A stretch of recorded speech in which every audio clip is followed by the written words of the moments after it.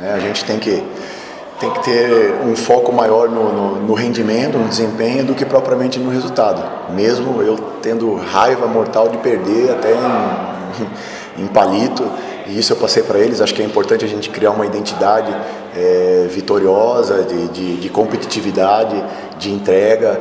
E a gente rendeu bem, rendeu bem, aproveitou não tão bem as oportunidades que a gente criou, poderia ter sido um placar mais elástico, mas o mais importante nessa, nessa nossa sequência de trabalho, que faz parte do planejamento, é a gente movimentar o time, criar as possibilidades, criar as alternativas, manter uma equipe organizada a maior parte do jogo, e isso foi o que aconteceu, então o objetivo foi alcançado, e eu tenho certeza que o torcedor também se identificou com a nossa entrega, com a nossa postura, com o nosso aguerrimento, às vezes até passando de um ponto um pouquinho, né? manter esse equilíbrio emocional para não ser prejudicado, mas a nossa equipe ela vai, vai ter muito essa identidade sim, de muita velocidade, de muita qualidade pelo lado do campo e a gente vai, vai melhorar. Para a estreia ainda a gente vai melhorar, precisa melhorar e a gente tem consciência disso. Mas eu fico feliz justamente pela entrega, pelo trabalho que foi feito durante a semana e as coisas aconteceram, é, se não exatamente aquilo que a gente trabalhou, mas bem próximo daquilo.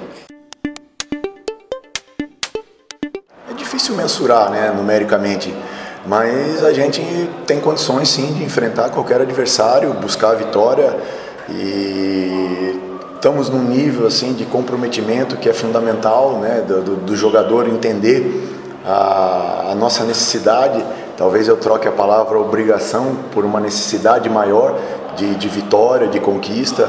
E isso todos eles estão cientes, e é uma coisa que eu passo diariamente para eles, que a gente faz parte de um processo de reestruturação e não só de reformulação de elenco ou de montagem de elenco. Então essa responsabilidade a gente tem que transformar em combustível, é, e eles estão dando essa resposta.